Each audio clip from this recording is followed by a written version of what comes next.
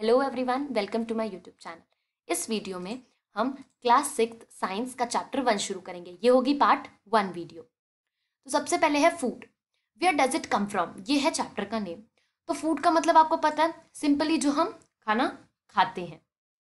और आपको ये भी पता है, खाने में बहुत टाइप के न्यूट्रिएंट्स होते हैं, जैसे कि carbohydrate fats protein vitamin minerals where does it come from इस चैप्टर में आपको फ़ूड नहीं पढ़ना है।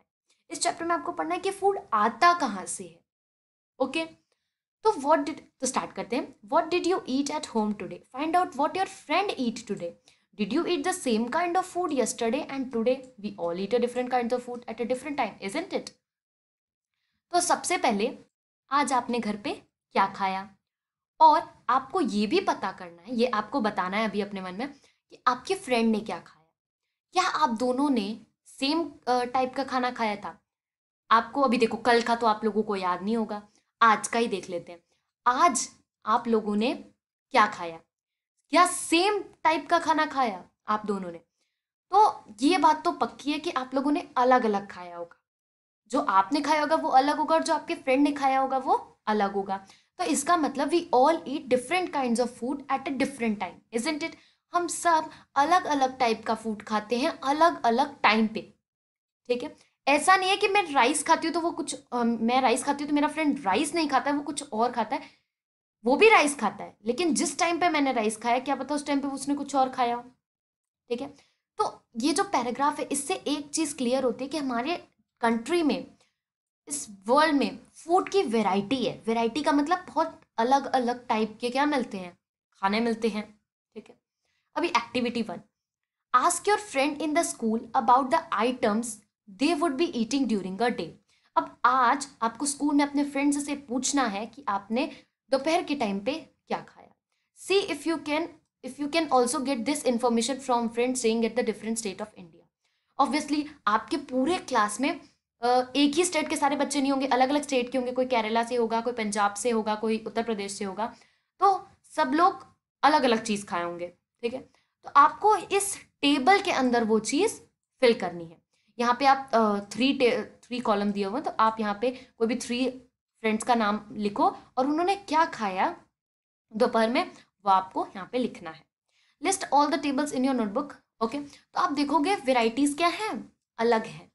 वेराइटीज़ मतलब डिफरेंट डिफरेंट टाइप्स के फ़ूड ये देखो डिफरेंट फ़ूड आइटम्स यहाँ पे क्या है? इडली है, इडली और चटनी है। यहाँ पे शायद ये मेरे को दाल सी लग रही है, यहाँ पे फ़िश फ्राई है okay there seems to be so much variety in the food that we eat बहुत ही ज़्यादा वेराइटी है। कितने टाइप के फ़ूड है? आधे तो आपको खुद को नहीं पता होगा कितने ज़्यादा टाइप के डिफरेंट डिफरेंट टाइप की वेराइटीज़ हैं हमारे कंट्री में। अब ये डिफरेंट डिफरेंट टाइप के फ़ूड बनते किससे हैं?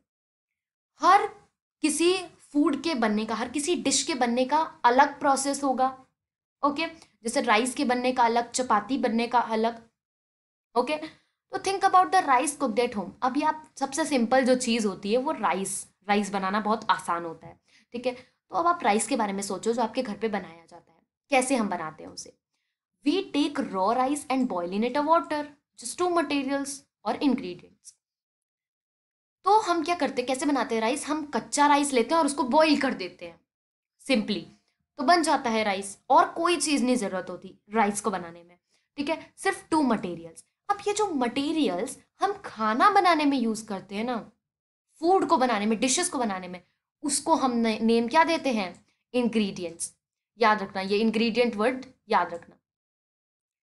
अभी ऐसे नहीं है कि हमने ड्राइंग बनाने के लिए क्रेयॉन्स कलर यूज़ किया तो वो इंग्रेडिएंट्स हुए नहीं। जो चीज़ हम किसके लिए? डिश को प्रिपेयर करने के लिए बॉइल्ड राइस जैसे यहाँ पे अभी हमारी डिश है बॉइल्ड राइस उसको प्रिपेयर करने के लिए हमने जो दो मटेरियल यूज़ किया उसको हम इंग्रेडिएंट्स भी कह सकते हैं।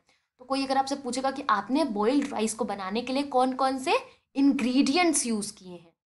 ओके मटेरियल्स नहीं इंग्रेडिएंट्स मटेरियल्स भी बोल सकते हो। तो यहाँ पे आपने एक न्यू टर्म पढ़ा ingredients on the other hand some food items are made with many ingredients rice तो सिर्फ़ दो मटेरियल से बना, दो इंग्रेडिएंट से बना।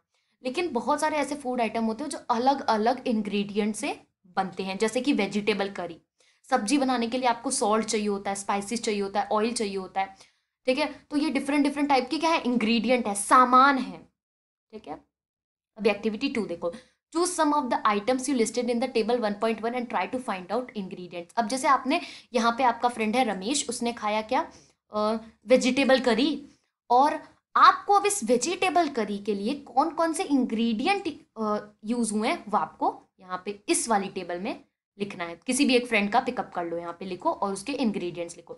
जैसे चपाती बनाने में हमें क्या चीज़ चाहिए होती है? आटा चाहिए होता है और वाटर चाहिए होता है। और दाल बनाने में हमको दालें चाहिए होती है वाटर चाहिए होता है सॉल्ट चाहिए होता है और थोड़ा सा ऑयल या फिर घी या स्पाइसेस थोड़े से मसाले चाहिए होते हैं। ओके? तो यहाँ पे आप भी आपके फ्रेंड के हिसाब से कोई भी एक चीज़ चूज़ कर लो और यहाँ पे उसके इंग्रेडिएंट लिखो। What do you find? Do we uh, do we find some common for different food item? Discuss in class. आपको कुछ कुछ चीज़ें कॉमन मिलेगी। जैसे ठीक है, अभी यहाँ पे दाल, इन्होंने दाल लिखा है। आपने देखा कि आपके एक फ्रेंड ने वेजिटेबल करी खाई है वेजिटेबल सब्ज़ी खाई है, ठीक है? वो आपने यहाँ लिख दिया और आपने उसको बनाने का सारा सामान उसी से पूछ के लिख दिया यहाँ पे। तो आप देखोगे कुछ कॉमन होगा। क्या कॉमन होगा? सॉल्ट कॉमन होगा। सॉल्ट तो सब्ज़ी में डलता ही और दाल में भी डलता है। ऑयल कॉमन होगा। मसाले कॉमन होंगे, ठीक है? दाल भले ही कॉमन ना हो ओके? अब ये इंग्रेडिएंट्स ये बॉइल्ड राइस ये वाटर और ये स्पाइसेस ये कहाँ से आते हैं? ठीक है? ये अब हम पढ़ेंगे नेक्स्ट वीडियो में। इस वीडियो में हमने कवर किया है बेसिकली कौन सा टॉपिक इंग्रेडिएंट्स ओके? सो इस वीडियो के लिए इतना ही मिलेंगे नेक्स्ट वीडियो में। Thank you very much